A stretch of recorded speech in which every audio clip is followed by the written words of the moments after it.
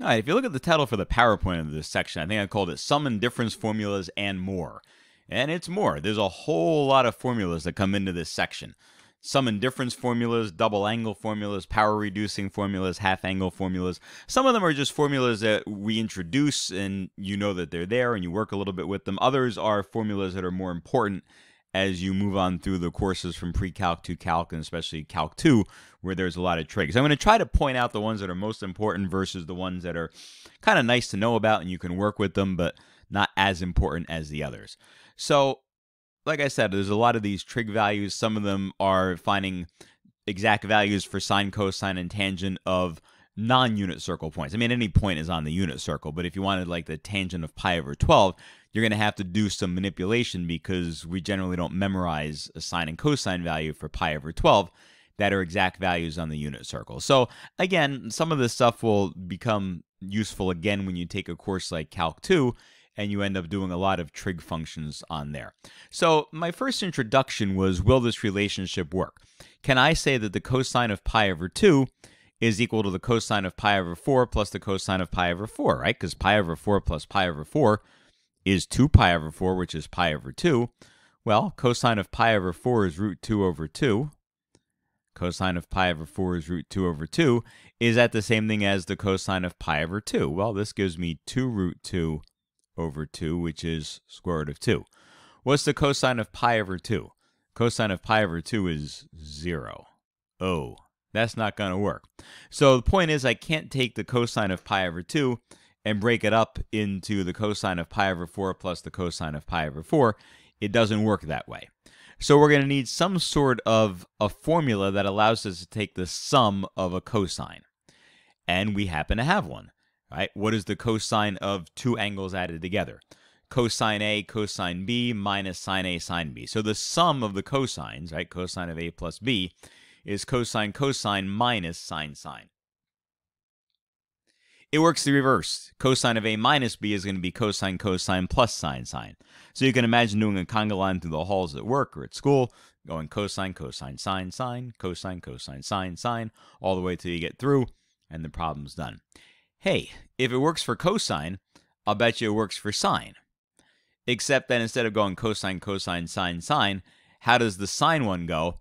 It goes sine, cosine, cosine, sine. Now, when I say that, I'm glossing over a couple of things, right? Look, there's the A's and the B's. Notice that the A's and the B's go in that order. So sine of A plus B is sine A cosine B plus cosine A sine B. So that one goes sine, cosine, cosine, sine the plus and the minus work the same way as the formula. So for the cosine, they're reversed, and the cosines are the ones that go cosine, cosine, sine, sine.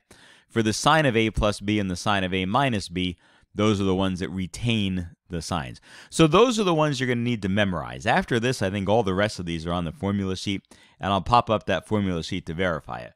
But these things are not on the formula sheet. So the, we call these the sum and difference of cosines, sum and difference of sines. You're going to have to remember these in order to take tests. So, what am I going to use these for? The first one says find an exact value for the sine of 75 degrees. So the goal is to find two, I'm putting in quotes, nice numbers on the unit circle that add up to 75 degrees. So, I mean, you could pick 74 and 1, but that's not going to be much of a help because those values are not common values that we know on the unit circle. So, what could we use that adds up to 75? I mean, I suppose we could do 60 and 15, that adds up to 75, but 15 is not a nice number on the unit circle. So, let's go smaller. Let's do 45 and 30. If I add 45 plus 30, sure enough, I get 75. So instead of saying the sine of 75, I'm going to say the sine of 45 plus 30. Well, 45 plus 30 is still 75, but now let's use my formula. So the formula that we're going to use is the first one up here, the sine of a plus b equals sine a cosine b plus cosine sine. So it's going to give me sine of 45 cosine 30 plus cosine 45 sine 30. So sine, cosine, cosine, sine with a plus in the middle. And now we can replace those with the values. So the sine of 45 degrees is square root of 2 over 2. The cosine of 30 degrees is square root of 3 over 2.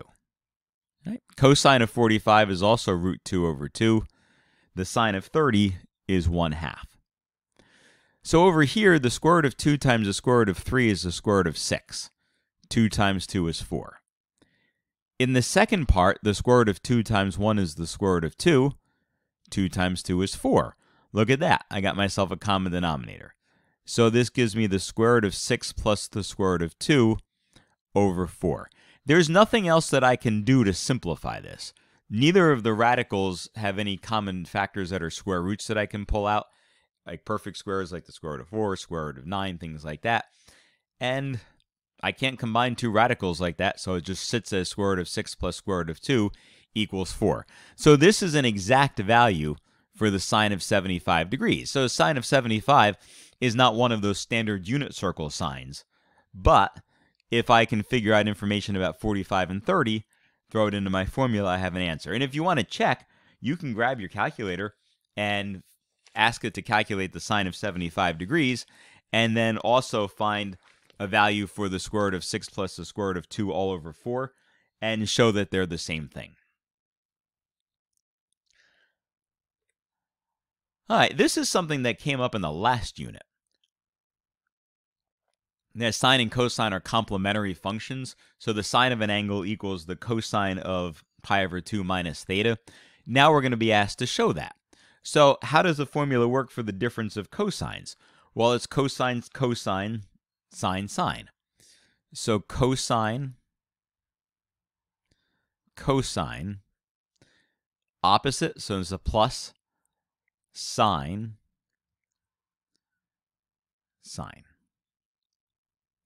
Right, so pi over 2 minus theta, because it's cosine, becomes cosine pi over 2 cosine theta plus sine pi over 2 sine theta. All right, what's cosine pi over 2? That's up at the top of the unit circle where the x-coordinate is 0, the y-coordinate is 1, so we get 0 times the cosine of theta. The sine of pi over 2 is 1. And 0 times cosine theta is just 0, and we're left with the sine of theta, and now that equals what's on the other side. So you can do identities with this as well. All right, we're going to try a couple of examples where we're trying to find exact values for these sines and cosines that are not standard unit circle values. So the cosine of 11 pi over 12, that's in the second quadrant. 12 pi over 12 would be pi, so this is just a little bit short of that. What am I going to use? Well, let's think of it in terms of twelfths. I could do like a 6 pi over 12 and a 5 pi over 12, but the 6 pi over 12 would be nice. That makes pi over 2. But a 5 pi over 12 is not going to help. That's not one of the nice values on my unit circle. So 6 and 5 doesn't look like it's going to work so well. What if I tried a 4 pi over 12? 4 pi over 12 and 7 pi over 12, nah, that's not going to work so well either. How about a 3 pi over 12? Well, if I did a 3 pi over 12, then I'd have to add an 8 pi over 12. Ah, okay, that'll work, right? Because 3 pi over 12 plus 8 pi over 12 gives me back 11 pi over 12. But 3 pi over 12 is pi over 4. 8 pi over 12 is 2 pi over 3, right? If I pull a 4 out of top and bottom, pull a 3 out of top and bottom. Those are both values on my unit circle that I can work with. So instead of writing cosine of 11 pi over 12, I'll think of it as the cosine of pi over 4 plus 2 pi over 3. So before I came to that conclusion, I had to do a little scratch work on the side to figure out what are the combinations of values in terms of twelfths that will give me something I can work with. Generally, the odd twelfths are not going to work out well, right? Except for things like 3 pi over 12. But 5 pi over 12, 7 pi over 12, 11 pi over 12, they're not nice points on the unit circle. Neither is pi over 12. All right, so how does this work?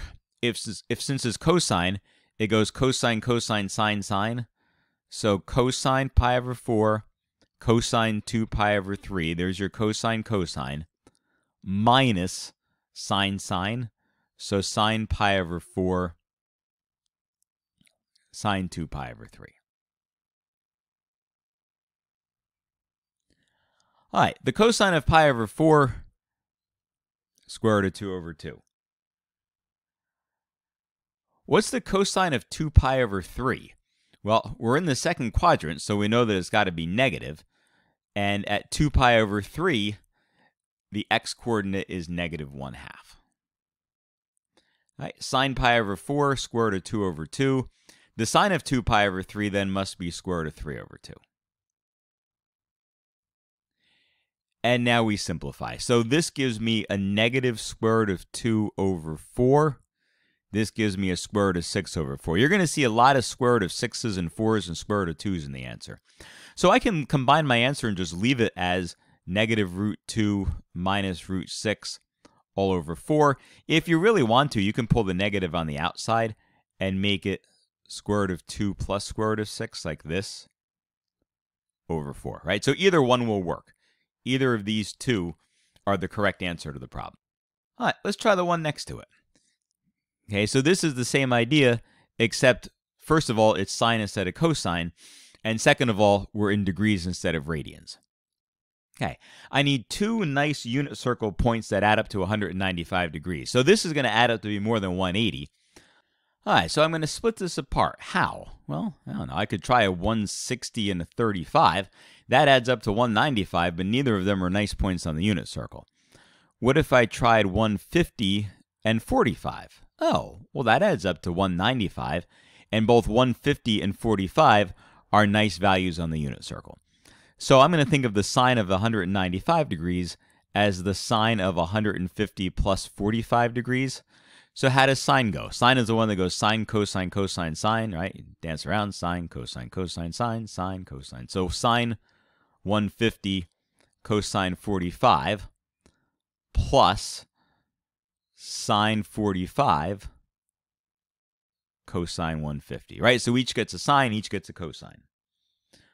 Let's look at some values. Sine is still positive in the second quadrant, so the sine of 150 degrees is a half. Cosine of 45, root 2 over 2. Sine of 45 is root 2 over 2. Cosine of 150, cosine's negative in the second quadrant, so negative square root of 3 over 2. So here I get square root of 2 over 4 plus negative square root of 6 over 4. Add them together and I get square root of 2 minus square root of 6 over 4. So that's an exact value for the sine of 195 degrees. You could verify this on a calculator. And of course, if somebody just said, you know, give an estimate for the sine of 195, you could throw that in a calculator. But that wouldn't give you an exact value. That would give you a decimal approximation. All right, these are fun. Let's keep this going. Cosine of 15. Well, there's probably nothing I'm going to add together that are unit circle points to give me 15, right? Our choices are things like 30, 45, 60, 90, etc. Oh, but 60 minus 45 will give me 15. So let's think of this as the cosine of 60 minus 45. So when you get some of those lower numbers, you may have to work backwards and subtract. Are those the only two possibilities that will work? No. If I can do 60 minus 45, then why can't I do 45 minus 30, right? I could think of it as the cosine of 45 minus 30 degrees. Right, so there's more than one way to tackle these problems. So actually, since I have it written on the bottom, let's use the second one. Although I'm reiterating that either one of these will give you the same answer. So cosine with a subtraction. Cosine, cosine, sine, sine. So cosine 45, cosine 30, plus, right, because opposite of what's inside, cosine 45, cosine 30, plus sine 45, sine 30. Cosine 45, square root of 2 over 2. Cosine 30, square root of 3 over 2. Both positive. And over here, I get a root 2 over 2 and a 1 half. So this gives me square root of 6 over 4 plus square root of 2 over 4. My answer is square root of 6 plus square root of 2 all over 4. Done.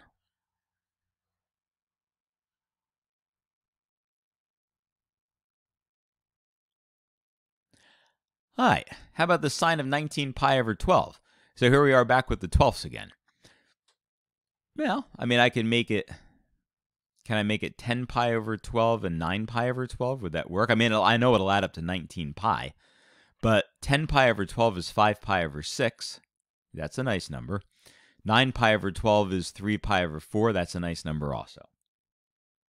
So it looks like that's what I'm going to go with a 3 pi over 4 and a 5 pi over 6. So I'll write this as the sine of 5 pi over 6 plus 3 pi over 4.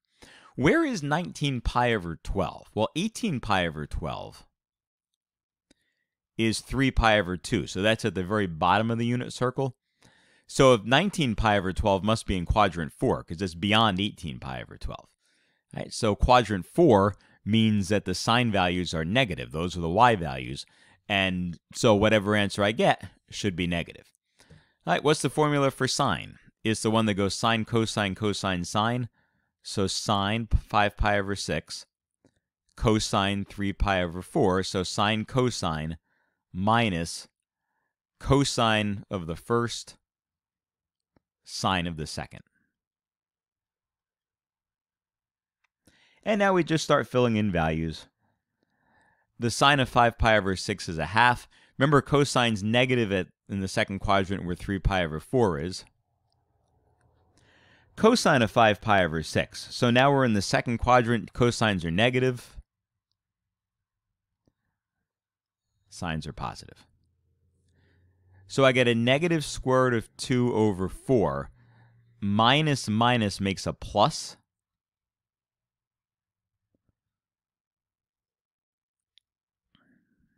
Square root of 6 over 4. All right. So here's a little trick. I obviously I'm recording a video, so I could have just erased my mistake and re-recorded this and you would have never noticed it.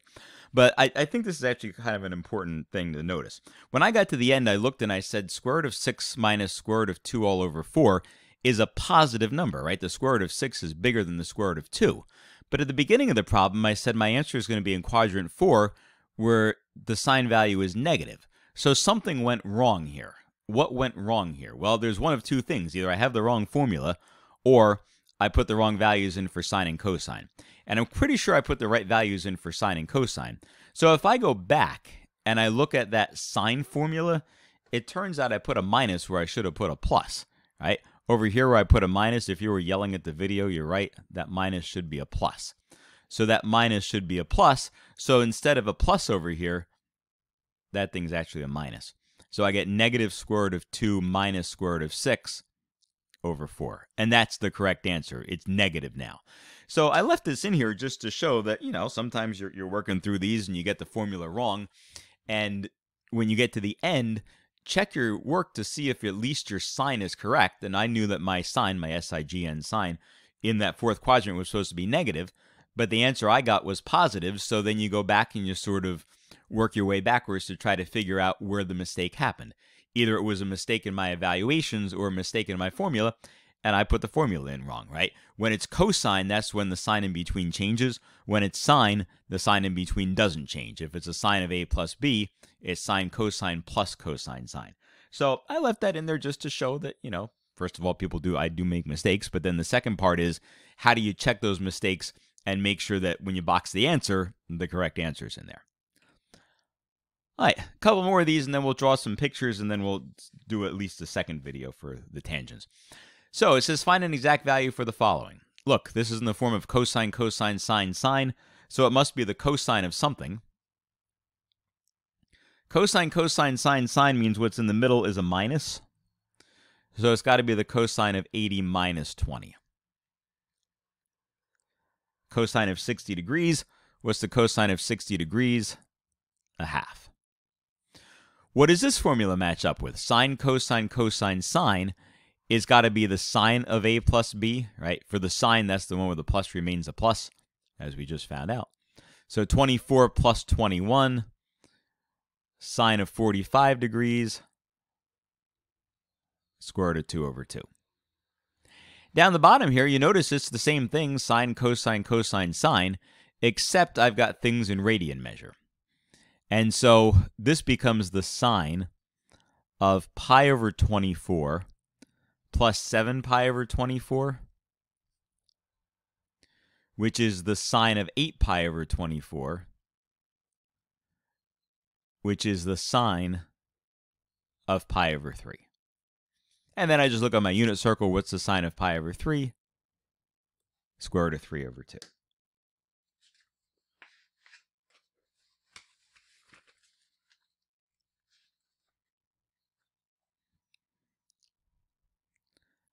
All right, this is learning a little bit long, but let's get all the concepts in this one at once. This says that the cosine of A is negative 12 over 13 in quadrant 2, and the sine is negative 7 over 25 in quadrant 3. Find the sine of A plus B. Find the cosine of A plus B. Hmm, okay. First of all, we could use ourselves a picture. So the cosine is in quadrant 2. So here we are in quadrant 2. That's angle A. Cosine is adjacent over hypotenuse. If you recognize this as a 5, 12, 13 triangle, that should fill in the blanks very quick. All right, the sine of B is negative 7 over 25 in quadrant 3. So here I am in quadrant 3. B. Sine is opposite over hypotenuse. So there's my opposite. There's my hypotenuse. Again, Pythagorean theorem fills in that as 24, but 24 going to the left. And so some people like to line up everything they need, right? So if you want the sine of A plus B, you're going to need the sine of A, the sine of B, cosine A, cosine B.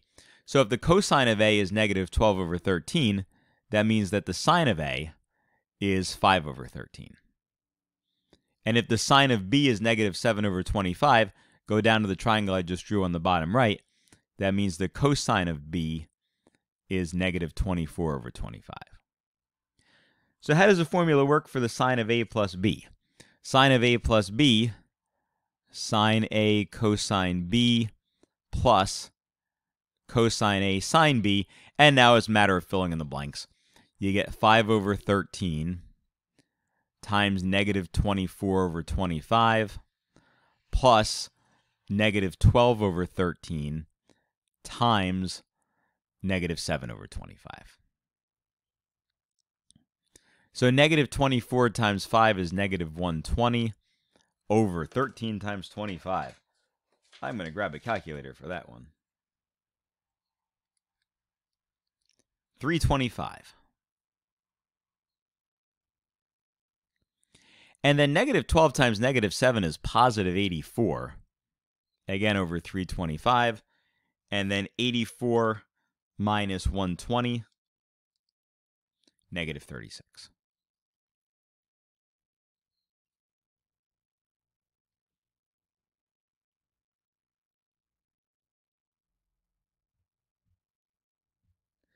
All right. Is there anything I can do to simplify that? I don't know. 36 has a lot of factors, but 325 has fives and 25s. So the third, the top one doesn't. So I think I'm just going to leave it like that.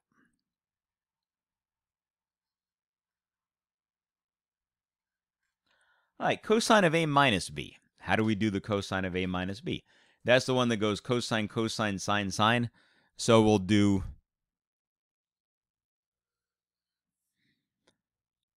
cosine, cosine plus sine, sine. All right, back to my numbers up at the top. The cosine of A is negative 12 over 13. The cosine of B is negative 24 over 25. Sine of A is 5 over 13. Sine of B is negative 7 over 25. All right, so 24 times 12 is 288. So I get 288 over 325 minus 35 over 325, which gives me 253 over 325.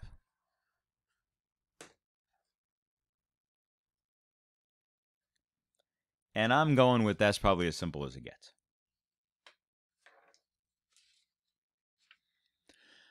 All right, hang in there. I got one more. says draw a triangle and find exact values. so we've got a sine of A and a cosine of B. So let's do like the last one and draw ourselves a couple of pictures. So the sine is in quadrant 4. All right, so I'm going to call that angle A. Sine is opposite over hypotenuse, so opposite over hypotenuse.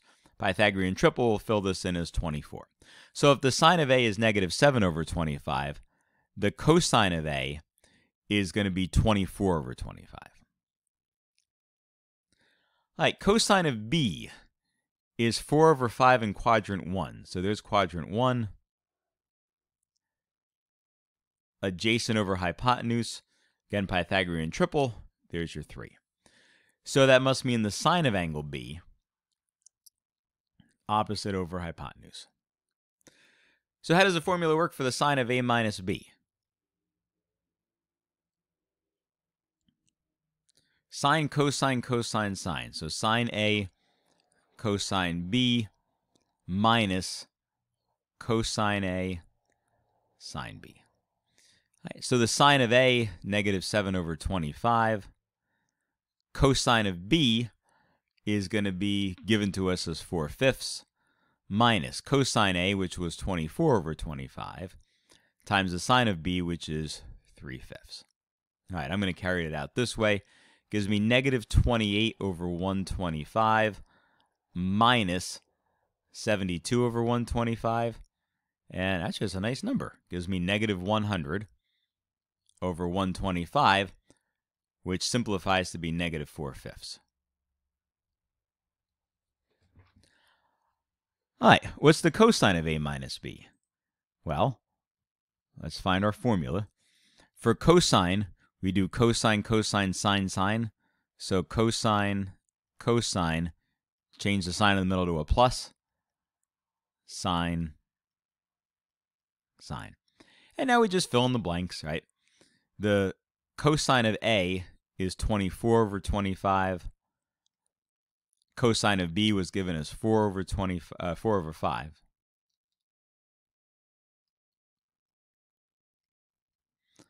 plus the sine of A was given as negative 7 over 25, sine B, 3 over 5. So this gives me 96 over 125 minus 21 over 125. Nice numbers. 75 over 125, 3 fifths. Now, the third thing says find the tangent of a minus b. Well, we don't have a formula yet for the tangent of a minus b, but if I have the sine and the cosine of a minus b, I can take sine and divide it by cosine. So I can take negative 4 fifths and divide it by 3 fifths. So take the negative 4 fifths, change division to multiplication, multiply by the reciprocal, and I end up with negative 4 thirds. So what this leads me to believe is that there should be somewhere then a formula that would help me to find the tangent of a minus b if I didn't already have the sine and cosine. Because here I've got the sine and cosine. What if I wanted to find the tangent of something and all I had was information about the tangents but not about the sines and the cosines? Well, good news, bad news, I guess, since there's more formulas. But the good news is there's a formula coming for the tan of a minus b. The other good news is not in this video because it's almost a half hour long. So we'll pick up with the sum and difference formula for tangents after this.